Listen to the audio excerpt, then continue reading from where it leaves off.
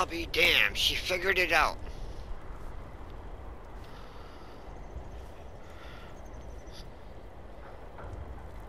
Oh, we're back to not being able to swing that hammer again, aren't we? Okay, there you go.